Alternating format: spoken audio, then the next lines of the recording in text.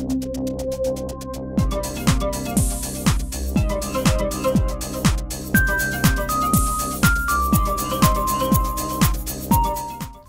عرض سلام و درود خدمت همه عزیزانی که نشستن پای برنامه گفتگو.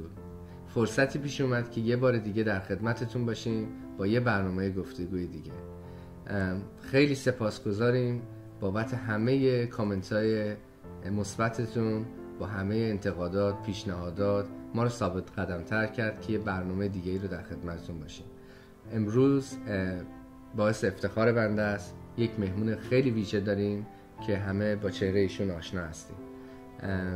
آقای آبدی نیاز به معرفی ندارن. بدون مقدمه میریم سراغ از سر اصل مطلب و از ایشون می‌خوام که یک چاق سلامتی با شما توی برنامه گفتگو داشته باشم. بفرمایید آقای آبدی با سلام و احترام خدمت شما جناب آقای قاسمی خان عزیز.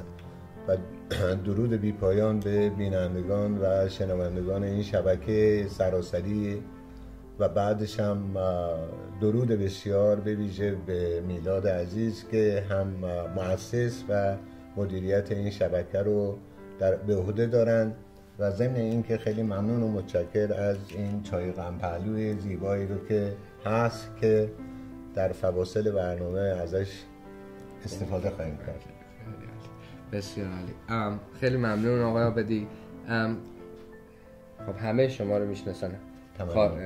شما به قول معروف استاد ما هستین. همونطور که همه می‌دونن هم سابقه بلند مدتی توی میدیا و تلویزیون و مطبوعات قبلا چه قبل از انقلاب چه بعد از انقلاب داخل ایران و داخل استرالیا داشتیم. خودتون دلتون می‌خواد یه مقدمه خیلی کوتاه برای آشنایی اونایی که مثلا کمتر از شما می‌دونن من تحصیلات من اصلش در آمریکا بود. من در رشته ارتباطات فوق لیسانس از دانشگاه منسوتا دارم. سال 1991 با توجه به تغییراتی رو که در جنگ بین ایران و عراق به وجود آمد حالا یا واقعا بلجبار یا به خواسته حرکت کردیم به طرف استرالیا و مقیم ملبورن شدیم. در اون زمان موقعی که من آمدم چون واقعا یک شخصی یا یه فردی هستم که علاقه من همیشه به کارهای تشکیلاتی هم و دوست دارم که به هر طریقی که شده حالا به هر و هر جایی رو که ایرانی ها هستن اینها یه جوری با هم دیگه در ارتباط در تماس باشن و خوشبختانه موقعیت آماده بود چون از طریق دوستان برخورد کردم با مسئله کانون که از سال 1990 این کانون متولد شده بود و بعد توی دو سال اولیه دوستان ما مسائل مربوط به اساسنامه و غیر ذالک رو تهیه کردن و از سال 92 که من فعال شدم من تونستم که در ابتدا یک محلی رو برای کانون بگیرم در فارست شاپینگ سنتر و اونجا بود که فعالیت ما چندین برابر شد چون ایرانی ها اومدن با یه واقعیتی روبرو شدن و اونم محل کانون بود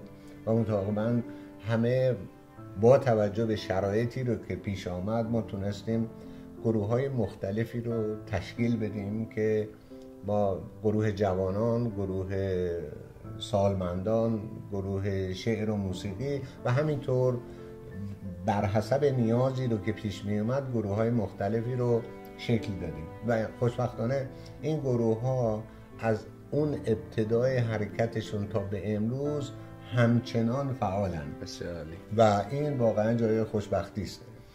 ضمن این که ارگان رسمی ما هم به اصطلاح مجله ماهیانه به اسم کانون به اسم مزد می‌خوام گلبانک که این گلبانک هنوز که هنوزه به طور مستمر هر ماه در اختیار به اصطلاح فعالین و به خصوص اعضای کانون می‌رسه بله. که می‌تونن از طریق گلبانک اکثرا با کانون و مدیریت کانون در تماس باشن بسیار عالی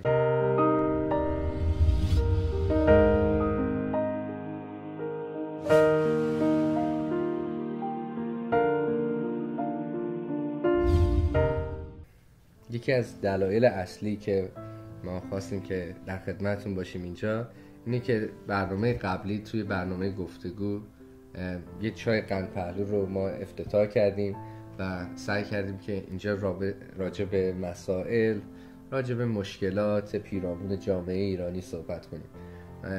شاید بخوایم بگیم که این اولین برنامه جدی قند پهلوه. بعد پیش خودمون فکر کردیم که چه کسی شایسته تر از شما که سالهای سال توی جامعه و ایرانی توی ملبورن زندگی کردین کار کردین از نزدیک به قول معروف دستی بر آتش داشتین همیشه و این تغییرات لایه های جامعه رو توی ایرانی ها دیدین گفتیم که خود شما اول چطور می‌بینید جامعه ایرانیان ملبورن رو؟ اولا من خیلی دوست دارم که بحث جدیدی رو اینجا پیش بکشم و اونم در رابطه با ما ایرانی هاست در کل. بله. ما واقعا یه ملت از هر نظر یونیکی هستیم. بله. که هر جای دنیا که زندگی می‌کنیم اولا به فورا به اون شرایط محیطی اداپته میشیم و این اداپته شدن ما به دلیل به این نیست که مثلا یه دفعه استرالیایی بشیم یا یه دفعه آمریکایی بشیم یا کشور دیگه یا انگلیسی یا غیره. ما خیلی جالبه که هر جای دنیا که هستیم شرایط محیطی خودمون رو پذیرفتیم بله. اما ایرانی زندگی کردیم. دقیقا. شما تو هر خانواده ای رو که برید می‌بینید که واقعا همون غذاهایی رو که در ایران میخوردن اینجا هم می‌خورن. همون رفتاری رو که در ایران در خانواده ها بود اینجا می‌بینید. و مهمتر از اون که چرا ما یه واقعا یه ملت زنده هستیم ابتدای قضیه مال زبانمونه بله. که این زبان می‌بینید که هر جا که رفتیم برش تکیه کردیم درست. اینجا مثلا خب در خود ملبون کلاس های مخصوص زبان فارسی هست که همیشه مملو از بچه است که پدر و مادراشون میارن و اینا رو می‌خوان که این زبان رو بیشتر یاد بگیرن بیشتر درش مسلط بشن بله. و واقعیت همینه که من با یکی از این بچه های مال کامیونیتی عرب ها صحبت می کردم و بحثمون هم خیلی جالب بود در رابطه با مسئله جامعه عرب بود و اون وقتی رو که مسئله رو گفتم که آقا وقتی رو که فرض بفرمایید حمله عرب به اقصانقات دنیا شد خیلی از کشورها هویت خودشون رو از دست دادن. مثلا عراق هویت اصلی خودش از دست داد. مصر هویت اصلی خودش از دست بله. داد. ولی ما ایرانی ها بودیم که واقعا با این زبان خودمون این هویت رو حفظ کردیم. و دلیل بر حفظش هم به نقل قول از این آقای عرب می‌گفت که شما فردوسی رو داشتید که ما نداشتیم. یعنی واقعا همیشه با هر کی که در این مسائل جامعه شناسی صحبت می‌کنی اونها اولین مثالی رو که میارند که این مسئله تونسته واقعا بقای ما رو در اون منطقه پرآشوب دنیا حفظ بکنه زبانمونه. درسته. و به همین دلیل هست که اینجا شما حساب بکنید که خب می‌دونید که به هر حال در هر جامعه ای ممکنه آدمای خوبی باشن آدمای بد ما نداریم واقعا. شما حساب بکن اون چیزایی رو که الان توی اخبار و غیر زالک میشنوید اونطور به اون شدت ما بد نداریم. ولی خب داریم که مسائلی رو دارن مشکلاتی رو دارن. و خب شیطنت هایی هم دارن. حالا این یا شیطنت ها بر حسب جوان بودنشونه یا به خاطر شرایطی است که ممکنه برای خودشون به وجود آورده باشن. بله. و بعدم من الان مثلا فرد بفرمایید 20 حدود 25 ساله که اینجا هستم و تونستم با خیلی از این خانواده ها خیلی به خصوص در گذشته چون من از سال مثلا 2000 به بعد البته در جامعه ایرانی همیشه فعال بودم ولی اون فعالیت هایی رو که مثلا سال 90 بود خب یواش یواش رنگ باخت. اینم به خاطر مسئله حالا سن بود یا مسائل دیگه ای رو که بود. ولی عمدتا می‌تونم من واقعا چون همیشه در رابطه با جماعت ایرانی واقعا نظرم مثبت بوده. بسیار و بعدش هم به خصوص الان ما وقتی رو که آمده بودیم شاید مثلا سه تا دکتر ایرانی بیشتر در ملبورن نبود. دقیقا. و الان در حال حاضر وقتی رو که شما میرید تو هر کدوم از این بیمارستان های حالا یا دولتی یا غیر دولتی می‌بینید تعداد دکترها خیلی زیادترن و به همین نسبت درصد بیکاری در جامعه ایرانی در کل استرالیا مثلا یک درصد هم نمیشه. در صورتی رو که ما اگر احیانا با کشورهای دیگه مثل حتی ترکیه یا جاهای دیگه مقایسه بکنید درصد بیکاری در اونها خیلی بیشتره. یعنی شما روند ام، ام، ام، جامعه ایرانی رو از سالها گذشته تا الان رو به رشد می‌بینید و مثبت می‌بینید. صد درصد. به دلیل اینکه ما شما حساب بکنید که پدر شما یا من خودم ما همیشه یا پدر من همیشه مشوق تحصیل بچه هاشون بودن. دقیقا. به هر قیمتی که شده می‌خوان که بچه هاشون برن و تحصیل بکنن. باشن. و واقعیت هم اینه که حالا نه فقط واقعا ملبورن که شما اگر احیانا به نسل های بعد از ما و انشالله که بیارید تو برنامه هاتون و اینا رقم های بسیار شدن و واقعا توی اکثر مؤسسات حالا چه فرض بفرمایید اه، اجتماعی یا فرض بفرمایید شرکت های معتبر همه شاغلن حالا بله. گذشته هم مسئله پزشکایی رو که خد- خدمتون گفتم درسته. توی رشته های مختلف می‌بینید که این نسل بعد از ما یعنی بچه های ما پیشرفت کردن پیشرفت. کردن و خیلی هم بله. خوب پیشرفت کردن دقیقاً. من یادم این که موقعی رو که ما می اومدیم به طرف استرالیا. یکی از کسایی رو که اومد که البته یه حالت های شکل و شمایل های دیگه ای هم داشت بگفتش که آقا میرید بچه هاتون به گدایی میفتن چند سال پیش که رفتم دیدمش گفتم آقا بچه های ما به گدایی که نرسیدن هیچی. همه موفق هم شدن. آره موفق هم شدن ما هم ساپورت می‌کنن. من خیلی.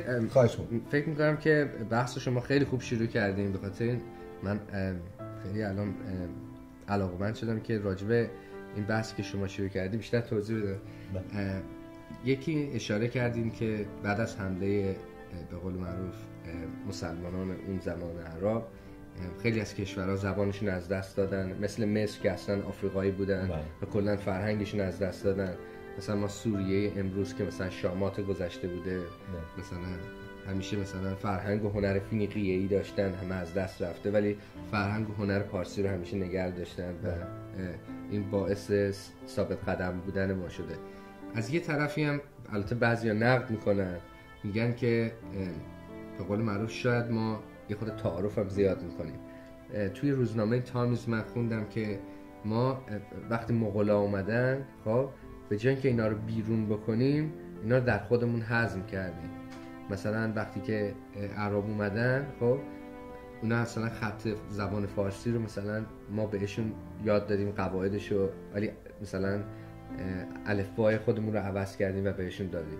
یعنی یک جوری مثلا اسکندر که اومد از هند بیرون شد ولی در ایران غرق شد. دقیقا شما حساب بکنید موقعی خب شما اینو مثبت می‌بینید از یا این, این نه این مثبته چون شما حساب بکن که اگر می‌خواستن بر ما استیلا پیدا بکنن بله. ما الان نه زبان داشتیم نه فرهنگ داشتیم هیچی نداشتیم کما اینکه این کار رو هم کردن اومدن یعنی شما نمیگید ما مثلا کاش که زبانمون رو نگه داشتیم هویتمون رو نگه داشتیم و بعد این کسی که اومده توی کشور اشغال کرده رو از کشور بیرون نه. می‌کردی چون همونطور که گفتم من البته هیچ وقت سربازی هم نرفتم روش جنگی هم نمی‌دونم ولی نه، حالا جنگ نه ولی- می‌دونم این رو بگم خدمتتون که در رابطه با حذف دشمن بله. همیشه ایرانی ها روش های مختلف داشتن که از این روش ها به قول شما آوردن اینها رو در ما ما در- واقعا در ما حل شدن در حل شدن. کردن بعد اومد دفعشون کردن. متوجه بله. بعد اومدن مثلا خب عرب عرب اولین کاری رو که کرد واقعا بیشتر با زبان عربی اومد جلو بله چون گفتن این این زبان زبان مقدسی است و چون قرآن با عربی نوشته شده چه بهتر که تمام اینهایی رو که میان و لبیک میگن به مسئله اسلام باید به عربی قرآن رو بتونن بخونن بله. و پیشرفت واقعا عجیبی هم توی همین مسئله داشتن. اومدن همونطور که خدمتتون گفتم اکثر این کشورهای شناخته شده اعرابی رو که ما می‌شناسیم اینا هیچ وقت به این شکل و شمایل نبودن. اینا برای خودشون زبان داشتن فرهنگ داشتن. و این زبانی رو که اینا شروع کردن به عربی اونا رو هم از بین بردن. بله.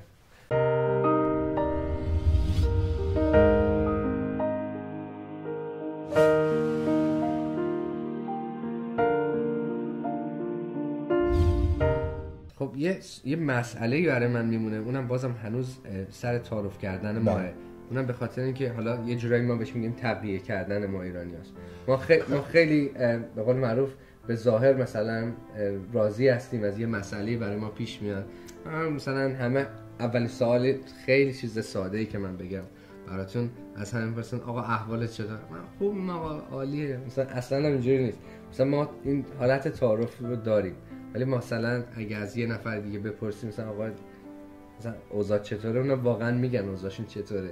ما همیشه سعی می‌کنیم که صورت خودمون رو با سیلی سرخ نگه داریم. به نظر شما این حسن ما ایرانی هست؟ این هم می‌تونه هم حسن باشه هم نباشه به بله. دلیل اینکه مثبت فکر کردن الان که شما ببینید همش اصلا مود شده به این که میگن که آقا تا می‌تونی سعی کن انرژی مثبت مثبت بدی خب وقتی رو که یه نفر رو با چهره مثبت می‌بینی بله. ناخداگاه اگر خودت هم یه ذره فرض بفرما مسئله یا چه می‌دونم بدخوابی یا فلانی داشته باشی می‌دونی که باید جواب اینو طوری بدی که باز مثبت باشه. بله. اگه منفی جواب داده بشه ممکنه بحث به طولانی بشه. آره، اتفاقا داشتم به این داشتم فکر می‌کردم که ازتون بپرسم که مثلا چون ما ایرانی ها دوست داریم همیشه زندگی لاکچری و لوکستر و بهتری از همه داشته باشیم. این مثلا ما رو تحت فشار نمیده ولی شما جواب خیلی هوشمندانه دادید این اصلا موتیویت می‌کنه همه رو. پوش می‌کنه که برن به قول معروف زندگی بهتری رو برای خودشون جور کنن. همیشه صاحب زندگی بهتر و موفق تری باشن. من یه مثال بله حتما. بگم. شاید این بتونه جواب شما رو بده. من موقعی که بچه هم داشتن بزرگ می شدن همیشه به هر دوشون می‌گفتم که ببینید ماشین فرد بفرمایید بنز هست کادیلاک هست در مقابل مثلا پیکان و نمی‌دونم اون یکی جیان حالا بستگی داره که تو چجوری لیاقت چه داشته باشی که مثلا بری بنز رو سوار بشی یا مثلا بری جیان سوار بشی. اون دیگه خاصه. بهترین فرد بفرمایید Yves Saint Laurent هست نمی‌دونم Cardin Pierre Cardin هست این هست اون هست. اونها هر کدوم نیاز دارن به آدمهایی رو که توانایی خریدش رو داشته باشن.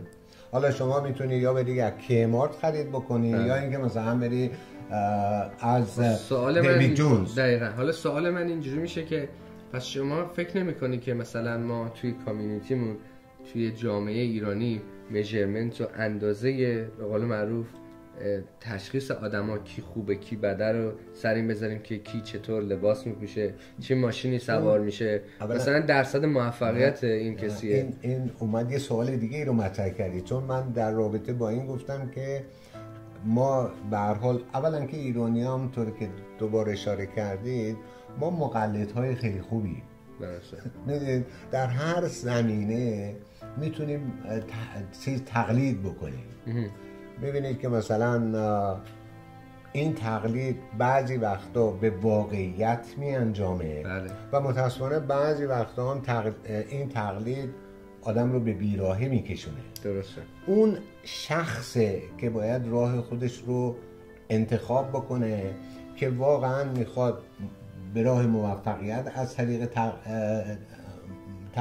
تقلید بره یا می‌خواد به بیراهه بره و این حسن انتخاب با اوست. و اینی رو که من در رابطه با بچه های خودم گفتم شاید خیلی پدر مادرای بله این کارو می‌کنن. اینکه میگه که آقا اگر بری مهندس بشی دکتر بشی تحصیل اصلا بکنی لاقل صاحب امتیازی هستی در اجتماع که ممکنه مثلا فرد فرمای کسای دیگه این امتیاز رو نداشته باشن. و نسب بیشتری این که الان این نسل دوم که ما داریم می‌رسیم به نسل سوم خوشبختانه این راه تقلید مثبت رو انتخاب کردن که برن و بتونن خودشون رو اشباه از نظر سوال من همین بود شما خیلی خوب اشاره کردین می‌خواستم بگم که یعنی شما فکر نمی کنید که این چشم و همچشمی شاید مثلا برای اینکه کی بهتر از اون باشه اختلافی بین این جامعه شکافی بین این جامعه ایجاد نکنه. اختلاف اون آدمای ایجاد می‌کنن که واقعا خودشون از طریق از نظر روحی روانی ممکنه مشکل داشته باشن. ولی اون کسایی رو که میان و می‌بینن که فرض بفرمایید این راهی که انتخاب شده و این حالا مسئله یا تقلیده یا مسئله اینه که اون فرد راه خودش رو انتخاب کرده و به طرف کجراه نرفته این خیلی مهمه. و نصف بیشتر کسایی که من میشنم خب تو خمه خود ملبون که محیط ما در ملبون فرق نمی‌کنه که یارو مهندس باشه یا بهترین لوله کش باشه یا فرق منظور منم همین بخواستم بگم که این یه کشوری است که همه مثلا توی ایران فرد فرما پسر می‌خواست جوان بود بره زن بگیره. دقیقا. این ذره خودمونی تر. بله نه چرا کم پهلو آره، خودمونی باشه. نه یارو پدر مادر دختره اول هم می‌گفتن تحصیلات نمی‌دونم میزان درآمد ماشین داری آپارتمان داری فلان. و بعدم این بود که هیچ وقت فرض بفرمایید که یه, پس... یه دختر تحصیل کرده نمی اومد مثلا زن یه کارگر بشه. درسته. ولی شما اینجا می‌بینید که شده.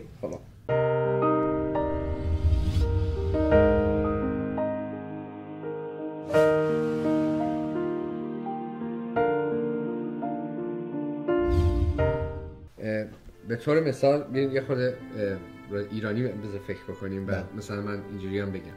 مثلا ما توی ایران فکر می‌کنیم که پدر مادر چون شرایط حتی اینطوریه. اصلا نمیشه بگی چرا اینطوریه. ما اونجا نشستیم بگیم چرا و چون و چراشو کار نداریم.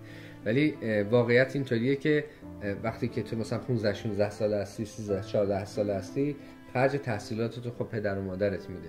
و اگر که یه نفری بیاد مثلا بچه‌شو زور کنه بگه آقا باید تو بری مثلا دم در این مغازه وایسی برای اینکه خرج دفتر کتاب تو برداری مثلا همسایه بغلی میگه این نگاه کن مثلا ببین اینا چقدر اوضاعشون بده مثلا ندارن حتی خرج اینو بدن.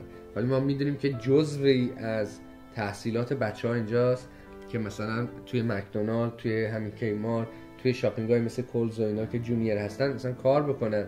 جز بخش از درسشونه که یاد بگیرن چطوری پول در بیارن ارزشش رو در بیارن.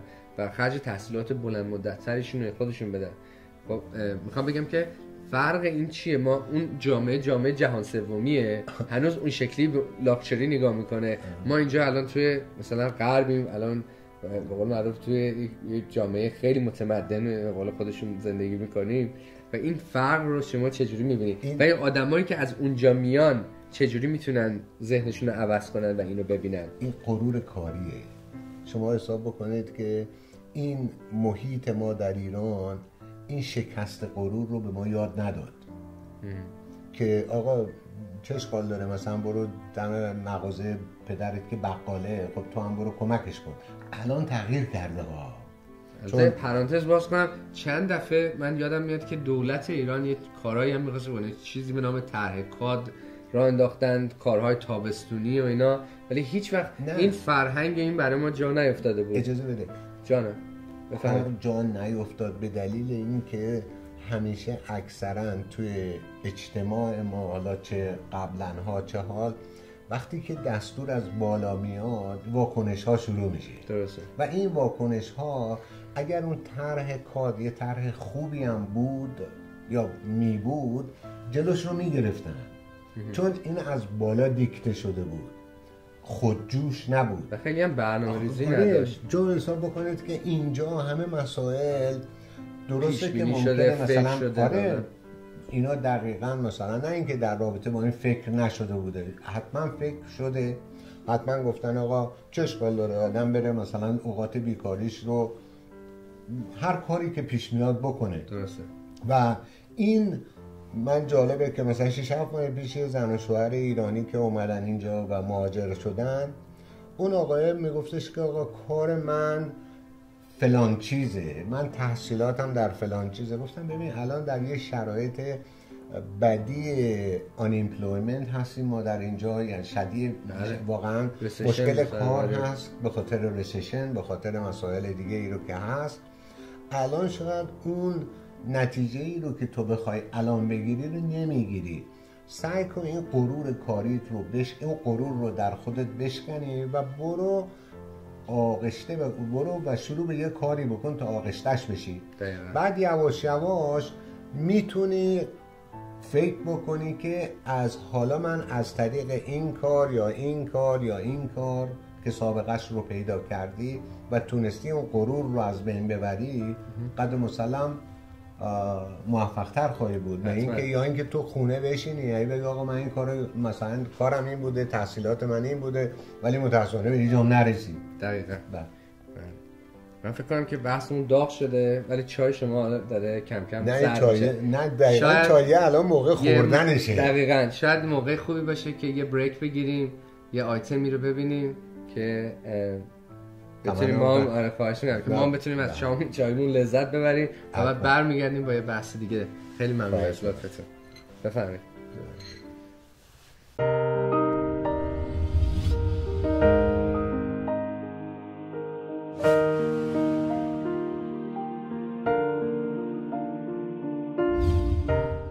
بینندگان عزیز همونطور که دیدین در خدمت آقای آبدی بودیم. ایشون هم اطلاعات خیلی وسیعی دارن هم تجربیات زیادی توی کامیونیتی ایرانی دارن. خیلی خیلی حیفمون اومد که برنامه رو توی نیم ساعت تموم کنیم. به خاطر اینکه هم بحث داغ بود هم چایمون اینجا داغ بود.